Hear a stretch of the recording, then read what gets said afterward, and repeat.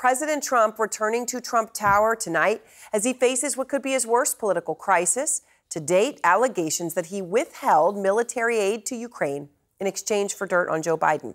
Now, Trump says he had the right to do it, but he says he didn't. I did not make a statement that you have to do this or I'm not going to give you aid. I wouldn't do that. I wouldn't do that. Well, okay, first of all, that's not necessarily true. And by the way, you don't need to say that directly to make a clear and obvious threat.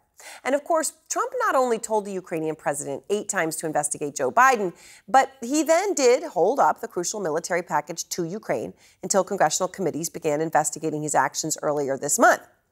And now Trump's own lawyer isn't even backing up the president's claim that he did not threaten to cut off the aid.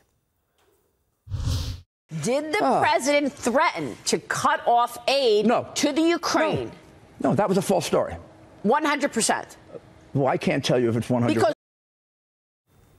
Okay, so he can't tell you with 100%. Look, there's one way to find out what was said during that phone call. And by the way, any other conversations that the president, Rudy Giuliani, had. It was a call that was said to be, you know, so urgent and concerning. According to Joe Biden, he says, release the transcript. Now, simple enough. It is something that the president says he wants to do put out the transcript.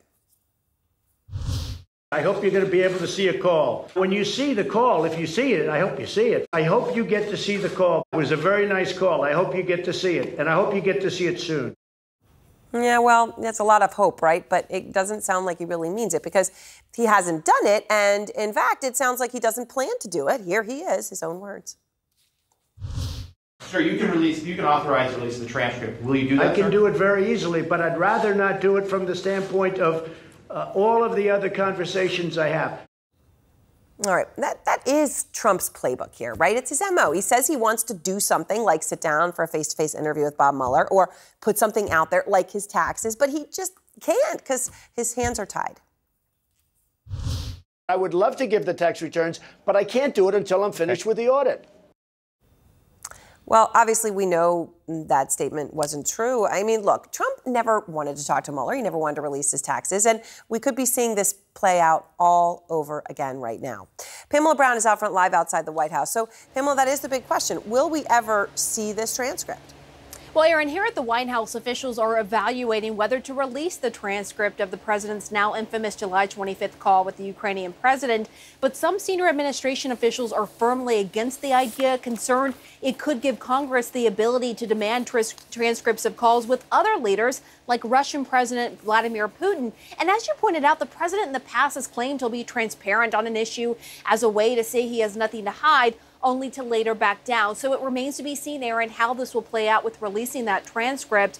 But there have been some significant developments. Trump has now acknowledged he discussed Biden in that July call with the Ukrainian president. Amid this reporting, he pressed Ukraine to investigate Biden's son. And he even implied today, Erin, his efforts were tied to giving Ukraine aid.